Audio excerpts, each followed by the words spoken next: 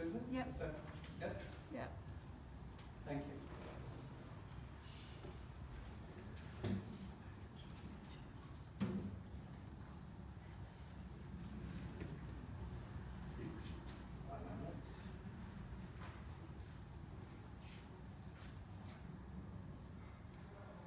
So the year 2000 was obviously marked by the pandemic and 2020.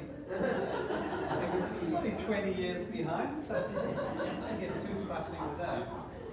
Um, and you know, I was I was kind of reading during the week that a number of people, even some really prominent people, have kind of predicted what was going to happen, but not exactly, you know. But a lot of people were saying that it wouldn't be long that we would have this great pandemic hit us.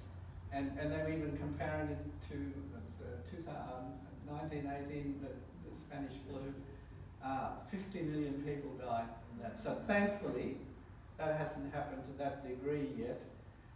But uh, people predicted it, but not very exactly. But they didn't do too badly, some of those people. But most of us were surprised, and you might say not ready. And that's not just as individuals, that's just as communities and governments and everything. So I was thinking about today, uh, title is Predicting 2021. I was thinking about things in the Bible where predictions did come about, did happen. So we had the flood, you know, the, the, the Noah's flood. Here's Noah. God says to Noah, build an ark. Noah's building the ark. All these people are just living life as, as you know, life happens. Uh, they've seen him doing this, but he, they go on with life. And the flood came. And Noah and his family were the only people that were saved. Then I was thinking of Joseph's dream. We talked about that in detail about more than a year ago. Joseph's dream. Uh, he, he dreamt, didn't communicate it very well, but he dreamt that his whole family uh, would be bowing down to him one, one day. And sure enough, a number of years later, that happened. Sarah, um, in, you know, Abraham's wife Sarah and John, um, John the Baptist's mum, Elizabeth, both of them were, were women who were sort of way past the normal age of having children. Uh, and, and they were promised children and they had children. And in both cases, there was some unbelief around all that. But it happened. We know that in lots of places, the prophets predicted things about Jesus, his birth, his death, and so on. And then Jesus himself said that he would die and rise again. And it happened. But despite all those things happening, and despite some predictions coming true for some people, um, lots of things are not predictable. Now, I saw this during the week, and I thought we would just have a little bit of fun, because I saw this with the guy. David, if you could get that link up, please, down.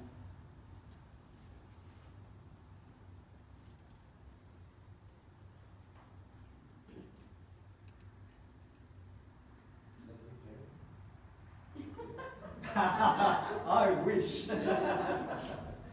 so I think surfing is, when you look, watch surfers and waves, it's just amazing. Um, so, so there's a little icon that takes you to a link.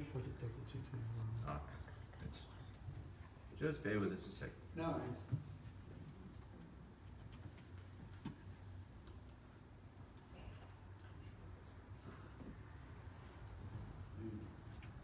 It wasn't automatic.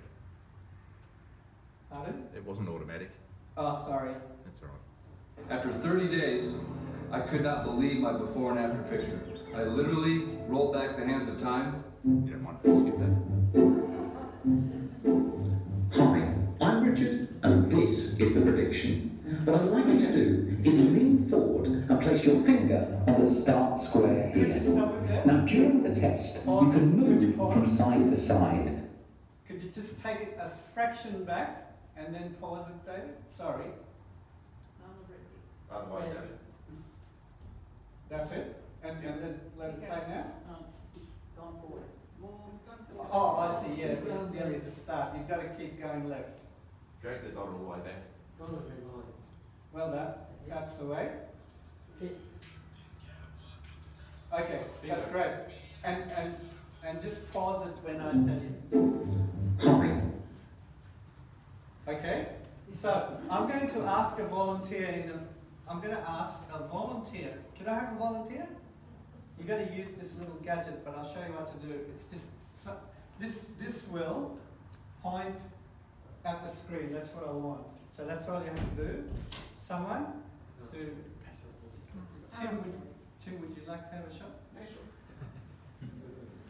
So just point it to the screen, and when it, when he starts to give you instructions, just try to follow his instructions. So just let it play now, David. I'm Richard, and this is the prediction. What I'd like you to do is lean forward and place your finger on the start square here. Now, during the test, you can move from side to side. You can move up and down. You can visit a square that you've visited before, but you mustn't move diagonally. Okay, make one move now.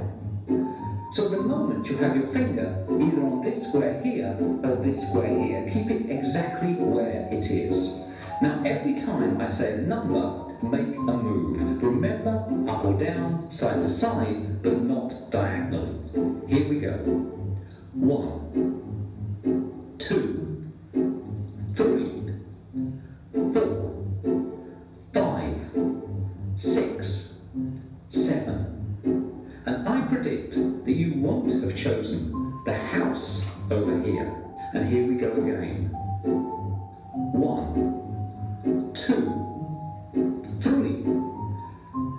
you won't have chosen the V. Here we go again.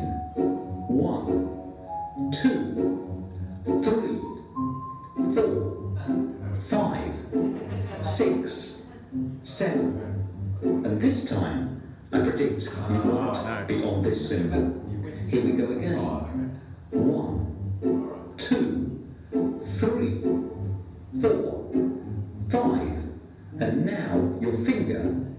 On the arrows. Here we go again. One, two, three, four, five, six, seven, eight, nine. And you haven't chosen the unhappy face over here. Here we go again. One, two, three. And you're not on the wavy lines. Make one last move now.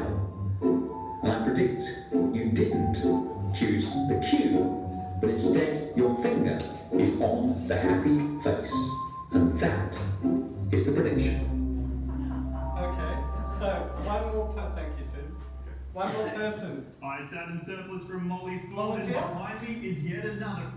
Come on. Doesn't matter. We, doesn't matter. Goes to Steve. I, I, I can give you some instructions of how. There was, was one thing I should have pointed out. No one wants to have a shot? Come on. Right. Thank you, Sarah. I just press, press that. One, one thing that you can do that I only uh, learned from doing it is um, you can go into the blank space, you know, like after he's taken the paper, you can go into that space. Um, as long as you just do it one at a time. Sorry, we're just going back No to worries. Hi,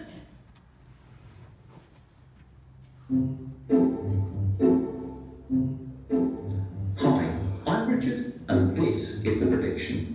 What I'd like you to do is lean forward and place your finger on the start square here. Now, during the test, you can move from side to side. You can move up and down. You can visit a square that you've visited before, but you mustn't move diagonally. Okay, make one move now. So the moment you have your finger either on this square here or this square here, keep it exactly where it is. Now every time I say a number, make a move. Remember, up or down, side to side, but not diagonally. Here we go. One, two, three,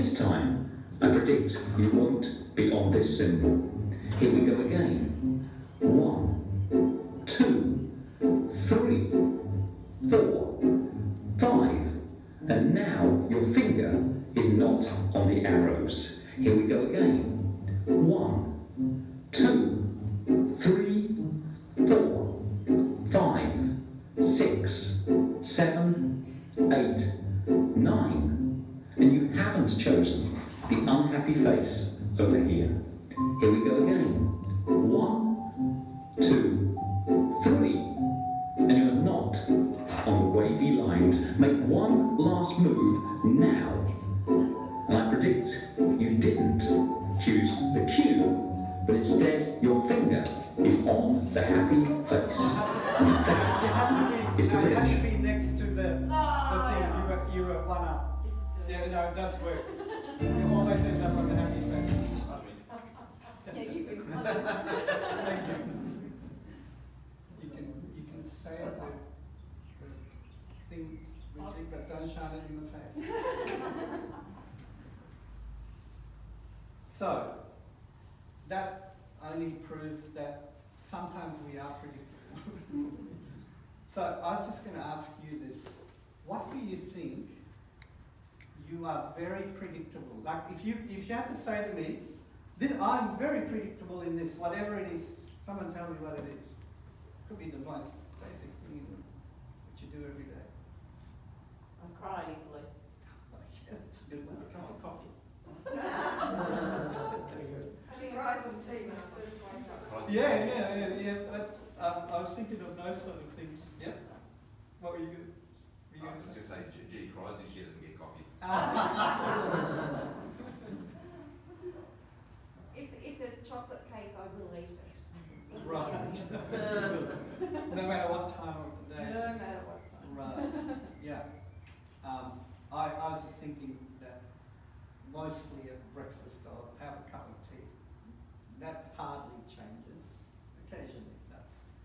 Uh, and there's a few more. I was going to say you shouldn't ask your spouse what your predictor will win because they might come up with a long list. some of it might not be very flattering. Um, some of it might. But the whole point about all that is that there's not a lot that we can predict in life. We can guess or we can assess and work out the chances that something might happen, uh, but we can't predict with certainty. You know, we, we assume that we'll wake up tomorrow morning, uh, you know, when we go to sleep tonight, but we don't know that for certain. We assume that during this year we'll do what we've been doing last year. You know, we'll be going to school or going to work or doing our grocery shopping or staying in touch with people. Uh, but they're all assumptions that we will keep doing those things. If we ask people, and some of, some of us might have got caught in this, that, you know, did they get hurt by the global financial crisis? Yes, a lot of people did, like in their superannuation. They suddenly found that their funds had lost value, and they didn't predict that. Um, that was, unfortunate thing that happened. So time and chance happens to us all, which is uh, what Ecclesiastes says. Ecclesiastes 9:11. Time and chance happens to us all. But this is what James says in James, uh, chapter 4. We can have that first slide, please, Dave. James chapter 4. Look here, you who say, Today or tomorrow we are going to do a certain, uh, we are going to a certain town and we'll stay. That's particularly relevant for us now. Town and we'll stay there a year. We will do business and there we'll make a profit. How do you know what your life will be like tomorrow? Your life is like the morning fog. It's here a little while, then it's gone. But James goes on to say, next slide, please, David. What you ought to, to say is, if the Lord wants us to, we will live and do this or that. Otherwise, you are boasting about your own pretentious plans, and all such boasting is evil. Remember, it is sin to know what you ought to do and then not do it. If the Lord wants us to, we will live and do this or that. What does the Lord want of us in 2021? And today we're starting a series uh, with five P's in them. We'll run right through to the five weeks of January, the five P's. Now, predicting, I just stuck that in at the start just to, um, yeah, to make you come to the service today, actually. Predicting 2021, I thought everyone would want to know how can you do that? Uh, well, I, I don't know how to do that. Uh, can we have the next slide, please, David? But we are going to talk about predicting today, planning next week, planning in 2000. Oh, black didn't come up very well. Preparing, because we, we have to plan, because if we, if we don't plan, everyone else will plan uh, a year for us. We have to prepare. If, if we don't prepare, we won't do the things that we need to do well. If we don't pray, well, that's, you know, that's a no-brainer. You know, we're, we're all Christians, we're all people of faith. We know how important it is to be in relationship, in, in, in, um, in regular relationship with God, constant relationship with God. And priorities. So important because there's always much more that we feel that there is to do than we can do. And God doesn't expect us to do more than we can do. But we have to work out what our priorities are. So that's what is in store for us for the rest of January. And Scott and I will be sharing in those. But today, because we're talking about predicting, um, and we've already concluded that most of most of life is not predictable, not with certainty. Uh, I just wanted to share four things with you that God's people have always believed to be important uh, and to, to get on with this. Now, these are not the only four things. Uh, after today, you might think about lots of other things that are also fit into this category of things that we need to be getting on with. But I want to talk about four things. And the first one is about, uh, so I'll tell you quickly what they are. Uh, to do what God wants, and we're going to look at, a parable of Jesus's for that. To know that your body is a temple of the Holy Spirit, and I explain more about that. To form authentic relationships and to make disciples. Four things. So, first one, do what God wants. Now, there are, in, in Matthew chapter 25, there are three uh, parables uh, that Jesus gives that are really significant parables, and they've all got something to do with uh, being accountable. That, that something's going to happen, and it's, it, it, it portrays effectively that one day God is going to call people to account. And the three parables uh, all um, speak to certain things. And this is the middle of those parables Uh, it's, it's what we know, what, what we know as the parable of the talents. Um, the parable of the talents, well-known parable. I think some of us probably grew up with this in Sunday school. It also happens in, in, um, in the Gospel of Luke. Um, we're not going to read it. It's fairly long, but this is what happens. Uh, a man is going away for a long time. He says to his servants, he gives his servants a number of talents. He gives five to one, he gives two to the other, and he gives one to the other. And he says, you know, go and make use of these talents, and I'm going to come back and ask you what you did with them. So the first one goes, and he invests his five talents, and it, it doubles. It becomes ten talents. The second one goes off, he invests his two talents, and it doubles and it becomes four. The third one goes off and says, uh, I'm not sure what exactly my master might be expecting, but I want to do the right thing. And he goes and buries it, makes sure that it's secure. Uh, the master comes back. He commends the first two people, but he condemns the last one, the one that buried his talent. So when we're, when we're looking at this now, I grew up, and in fact, not just grew up, I, I think for a very long time, I, I saw this, uh, uh, you know, like you've just got, you know, God's given you, um, you know, gifts and God's given you talents and you've got to kind of use your talents. And interestingly, and I think this is true, I read about this, but I'm sure this is true because because uh, the Bible has influenced a lot of English language, and English language's uh, uh, definition of talents kind of comes from this story. Um, but in the story, the talent is just a, a, an amount, it's, it's a description of money. And it's a big amount of money. I think the Message Bible might say $5,000. It's a large amount of money. And so that's what the Bible, uh, sorry, that's what the English dictionary might say, and that's in a common sort of understanding. That's what uh, we understand by, by this, um, this parable. But it actually means it's much broader than that.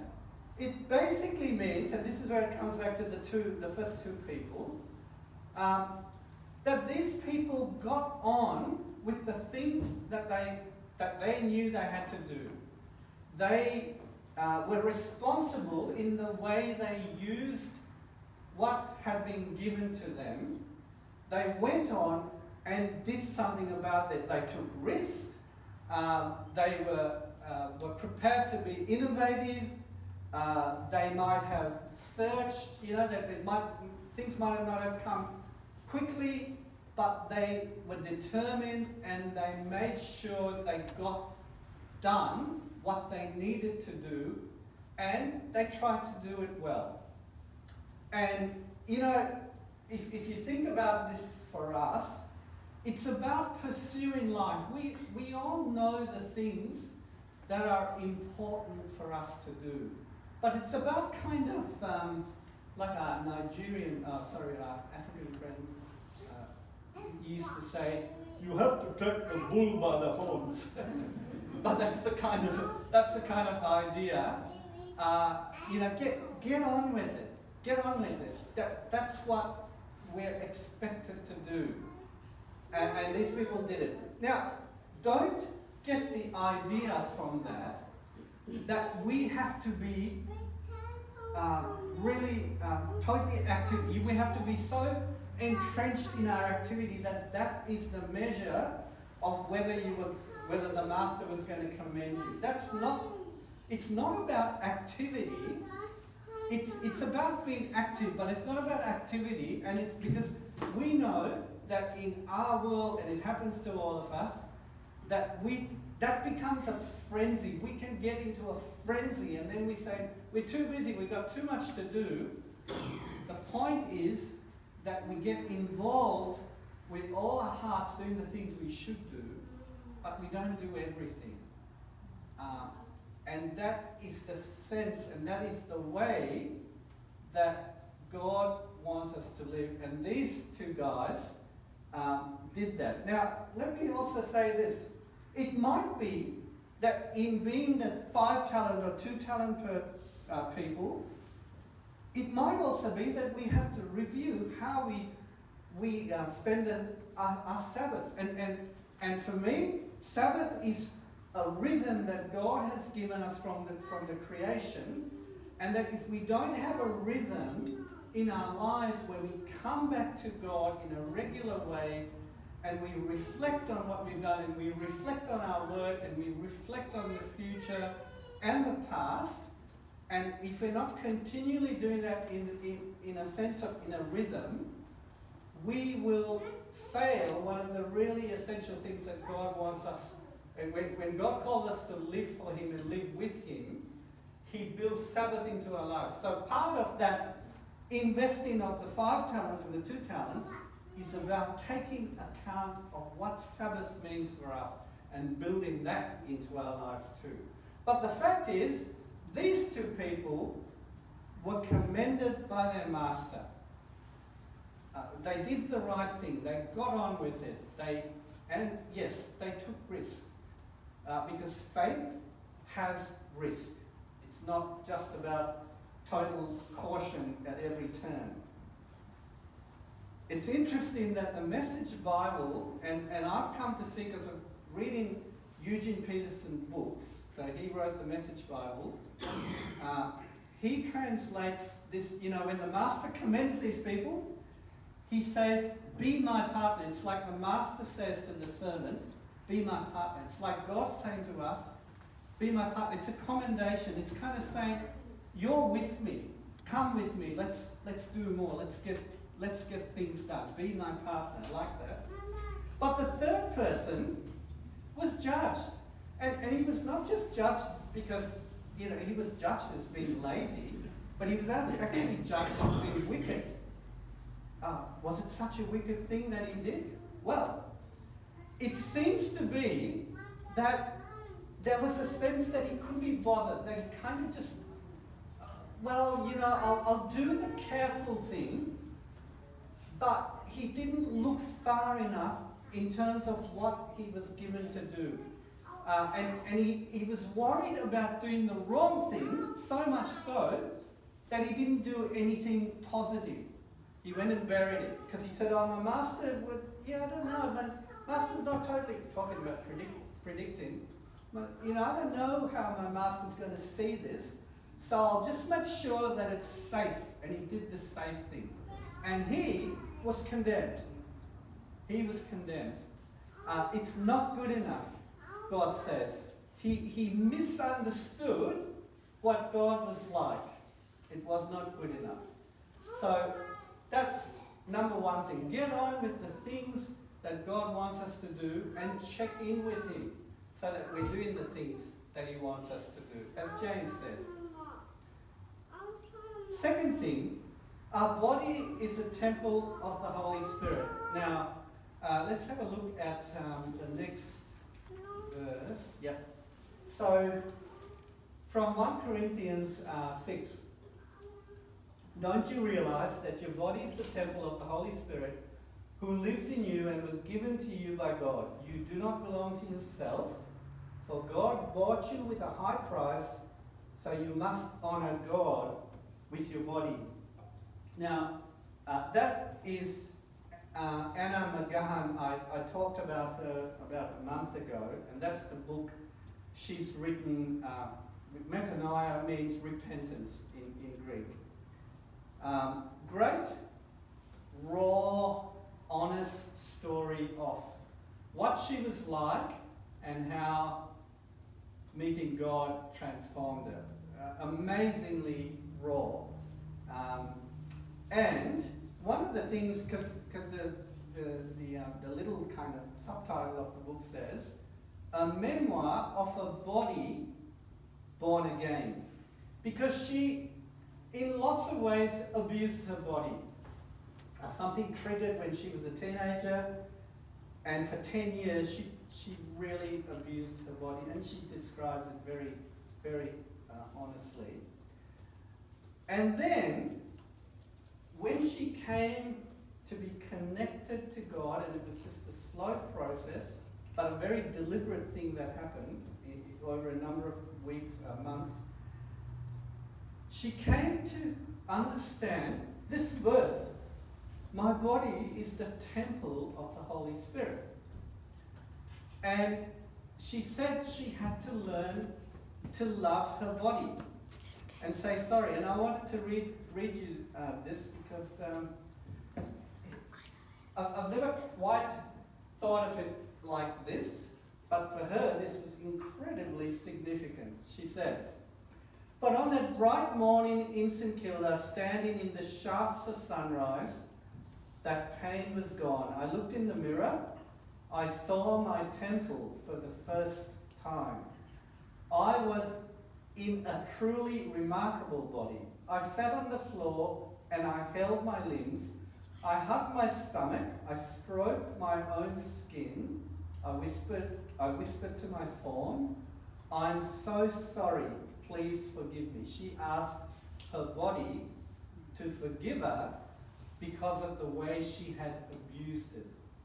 Um, so, so look, the quick story of all that is it started with anorexia, but that was only an indication of things that were going on in her life.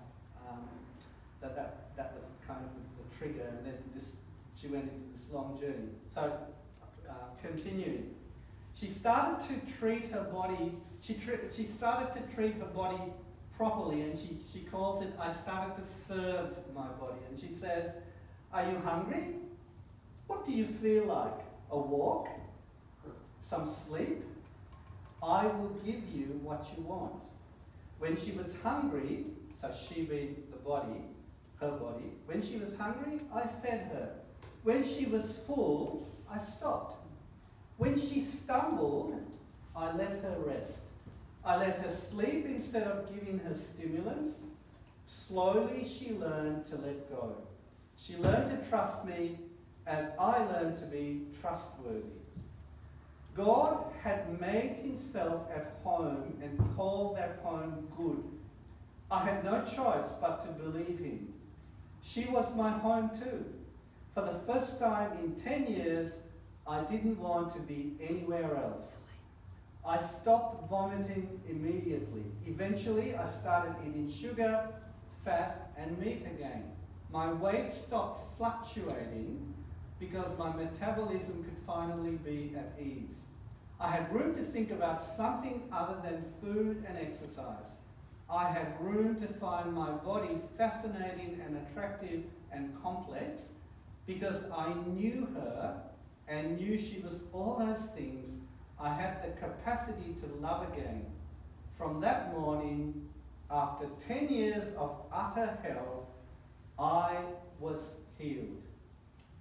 Um, and the, the, the, the point of that, and it just brought it home to me, and it, it, it really does connect with the first point that we shared about using what God's given us and using the opportunities God's given us, which I know that uh, Don in his um, prayer this morning talked about, thank you, Lord, for the opportunities that are ahead of us. That connects really well with that, that whole uh, parable of the talents. But when, if we want to do what God wants us to do, we do that also understanding and acknowledging that our, our bodies are the temple of the Holy Spirit. That's the starting point. That's it is the Holy Spirit that wants to glorify God in the bodies we have. And what do our bodies do? Our bodies are what carries out the, the things that we think about, the things that we think we ought to do, the things that we uh, hopefully think rightly we ought to do. Our bodies, hands, our feet, our bodies carry those things out. And our bodies are the temple of the Holy, Holy Spirit. So we need to respect our bodies. We need to give our bodies to God and say, Here I am. This is me. Here I am. Use me. I will go with you wherever you want me to go, wherever you take me, whatever you want to teach me, whatever I must learn. Uh, and when, when that gets hard, you know, um, uh, Margaret and I were, we, we try and have a kind of a sort of a review day at the beginning of a new year. And as we were talking about that on the first, uh, we were talking about how, um, you know, we go like the Psalm 23. Even when I walk through the valley of the shadow of death, you are with me. So some of the where, some of the places that God takes us and might take us might not be easy places, but if He's going to be there with us, we can do it. We can go. We, you are with me. My body is a temple of the Holy Spirit. The, fourth, the third thing is about build authentic relationships as the people of God. So let's have a look at the next one, David. This comes from Colossians chapter 3. Since God chose you to be the holy people he loves, you must clothe yourself, clothe yourself with tender-hearted mercy, kindness, humility, gentleness, and patience. Make allowance for each other's faults and forgive anyone who offends you. Remember, the Lord forgave you, so you must forgive others. Above all, clothe yourselves with love, which binds us all together in perfect harmony. And let the peace that comes from Christ rule in your hearts, for as members of one body, you are called to live in peace and always be thankful. Let the message about Christ in all its richness fill your lives. Teach and counsel each other with all the wisdom he gives. Sing psalms and hymns and spiritual songs to God with thankful hearts.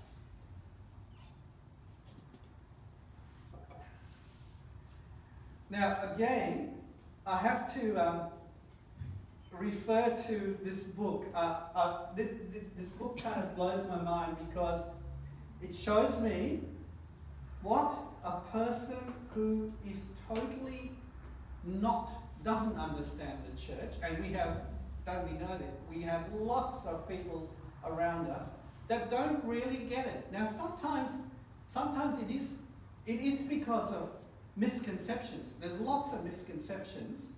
Uh, people just don't really get what church is or what, what God is about.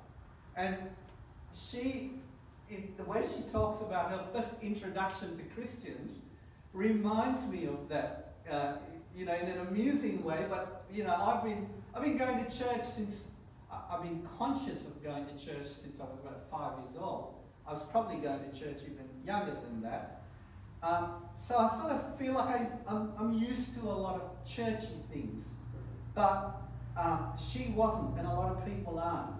And what she says, what struck her about the Christians that she met, so she went to church, but then she started seeing these Christians in little groups. You know, she'd go out to, um, oh, what's the, what's the thing that people like?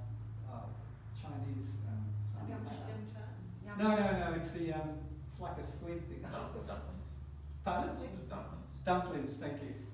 Go out with a group of people to have dumplings, and then she'd go to Bible study and uh, get to know people. And she was observing people and just kind of, kind of, this is all new to her, and sort of watching how they, how they reacted. But, but what she said was, they were now. Remember, she was kind of like in this industry, like she was an actress, and there's all these kind of people, a bit like her, creative people, and that sort of thing. Probably all had a, you know, there was great expectations and there was a real need for her to portray a certain person. That's what that was her struggle. But she said they were all they were all normal.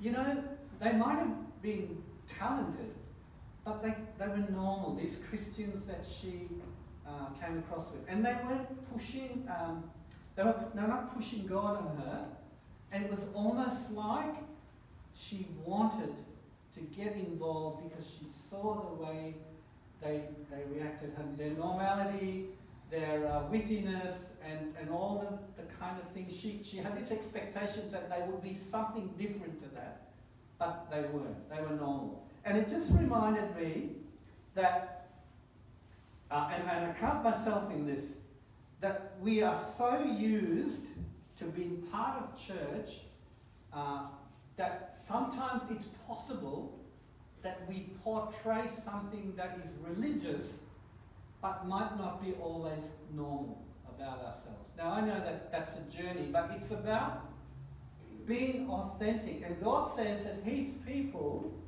need to be authentic. This, this is all about authentic relationships. And that also takes me to another thing, and that is that we, what we're doing here is really important because we, we gather together. But we are only doing this for about an hour and a half, once a week. We, uh, and Scott and I have been thinking about this even before the last year started, before COVID started. Uh, and we will talk more of this, but we want to encourage our church to build more on small uh, groups, cluster groups. You know, we've already started these cluster groups that work really well as we were trying to encourage people in COVID. Now we, we're asking that we build on that. Small groups, you know, anything from three to six to eight people. I would say not more than eight people, so that we can be intimate with each other. We can be honest. We can speak the truth. We can speak the truth about the things that we're not as much about the things that we are. We can get support from each other. We can ask for prayer. We can be really honest, and it's those relationships that will will uh, strike the people around us and say these people are different. They're normal, but they're different. They're real. I want Scott and I would like to encourage us all to get involved in smaller groups where we can really be ourselves and um, let the message about Christ in all its richness fill our lives. As we talk about uh, Christ, and we talk about the Bible, we talk about our lives, and we build and we grow in our relationships with each other. And may that spread to the world that we are trying to reach, to the community that we're trying to reach. Build authentic relationships. The last one uh, that I'll finish on is make disciples. Now, I've been telling you about, um, uh, you know, encouraging you to read the Gospels last year, and I'm really encouraged that a lot of you have done that, and I know some of you have done more than one Gospel. Fantastic. Maybe we can take that up and read a second Gospel this week and keep it going. Excuse me. The last two verses of Matthew, which I've been looking at, is Matthew 28, 19 to 20, where, where Jesus is with his disciples before, before he, after his resurrection, he says, All authority is given to me. Go into all the world and make disciples. Baptize them in the name of the Father, Son, Holy Spirit, and make disciples, teaching them to obey all that um, I have commanded you. Make disciples. Uh, Paul in 2 Timothy 2 2 says, what he says to Timothy, what Timothy's like a young pastor that Paul has been mentoring, what I've what you've seen me doing, what I've taught you, go and entrust to faithful people. Paul is saying to Timothy, keep making disciples. So the point of that is that that's what God asks us to do. That's what Jesus asks us to do. To look for opportunities to make disciples, to build into our lives disciple making as a normal part of our lives. So we, we, we try and show people as we come alongside them, and it might happen in those small groups I was talking about, but the people that we know and that we want to disciple, we show them. We don't just um, invite them to a study, that might be part of it, but that might only be a small part of it. We show them what it means to live for Jesus. Uh, and, it's a regular, committed thing that we do. Build that into our lives. Um, that is what we are called to do. I want to finish with this, which, which came out of a. So there's this, um, this guy that I've, I've been reading lots of his blogs, a pastor, and people reply to the things that he reads, to the articles that he writes. This is what someone replied on this whole context of is it just about church attendance or is it about making disciples? And this is what um, this, this person wrote in. And, and this is not necessarily un, uh, unusual or something that you haven't heard of, but I think it still makes a great point. True discipleship cannot happen apart from close connection and it takes time. However, with enough time, discipleship has a much bigger payoff. Think about this. If I found someone new every day and convinced them to come to church for 25 years, I would have invited approximately 9,125 people to church in that time. 9,125 people. But if I took a year to feed into one person's life and really disciple them and taught them to go forth after the year was done and do the same, so that we both went in year two and found one person each to disciple and taught them to do the same, and so on and so forth for the next 25 years, we all would total 33 million disciples being made after the 25th year. 9,100, 33 million. And that's the difference between uh, multiplication and addition. Disciple making is about multiplication. It's a difference between discipleship and attendance.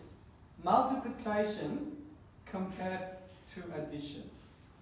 May we all focus on making disciples in the year to come.